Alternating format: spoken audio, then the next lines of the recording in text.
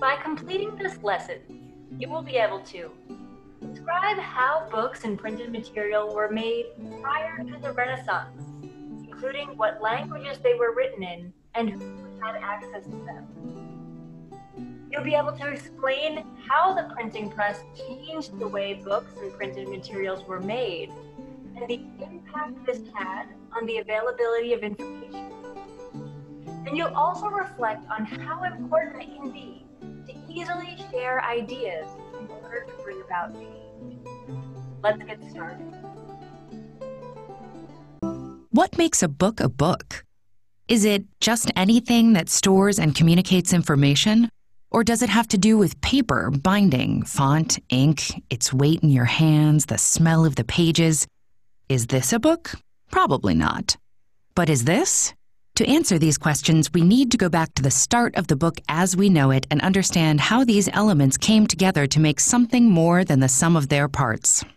The earliest object that we think of as a book is the codex, a stack of pages bound along one edge.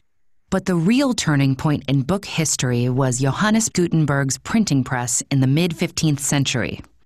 The concept of movable type had been invented much earlier in Eastern culture, but the introduction of Gutenberg's press had a profound effect.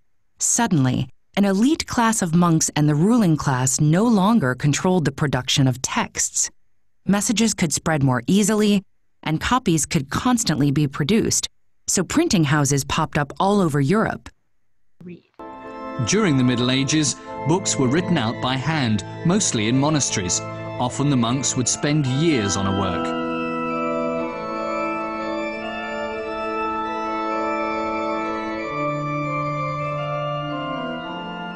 Then, in 1450, an invention changed the world. In the German city of Mainz, Johannes Gutenberg invented the technique of printing with movable type. This made it possible to duplicate books in large numbers and at relatively low cost. The technological foundation was laid for the intellectual, political and religious changes of the succeeding centuries.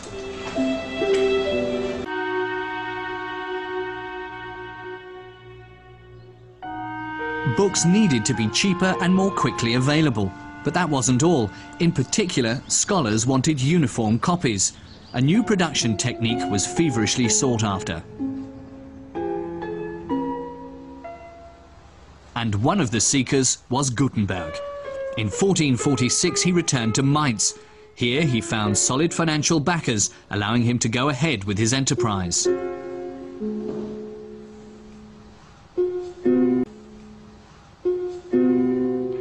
His breakthrough came with a brilliant idea.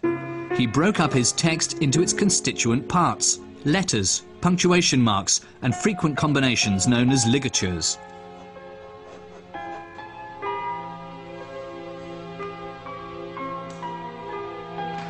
These were then combined to form the blocks for printing words, lines and pages.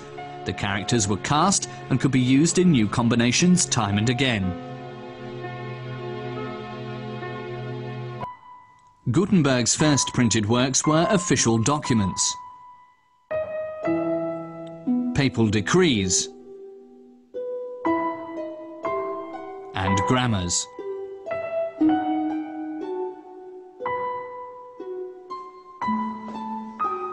But soon he started on a mammoth venture, the Latin Bible.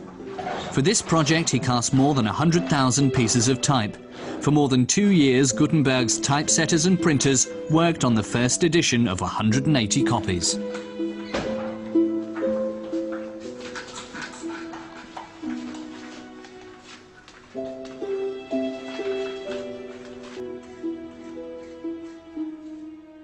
With his Bible, one of the world's most beautiful printed books, Gutenberg proved that a work printed with movable type could be as aesthetically pleasing as one written by hand. Knowledge of this revolutionary technology was quick to spread. Soon the first printing presses were set up in Cologne, Bamberg and Basel. In Venice, an enterprising publisher named Aldus Manutius began to print the works of the classical authors. His clientele comprised the whole of Europe's humanistic intellectual elite. Manutius employed the most talented printers of the age, They developed the typeface known as Antiqua, which soon spread throughout Europe.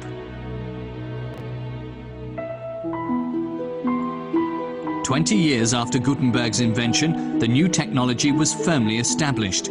Thousands of titles were marketed in editions of up to 1,000. Books now became affordable for ordinary people. As society grew more literate, the number of potential readers increased.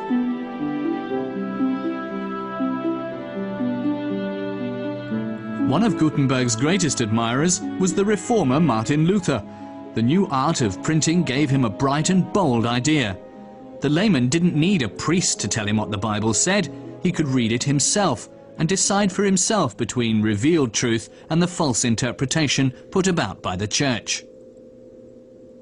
So Luther had more than half a million copies of his German translation of the Bible printed, a huge number for those days, and to disseminate his Protestant message, he had hundreds of thousands of leaflets distributed.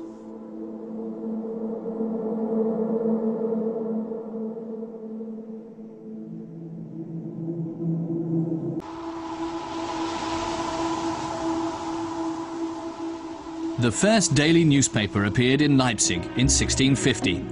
Einkommende Zeitungen it was called, roughly breaking news, and it came out six days a week.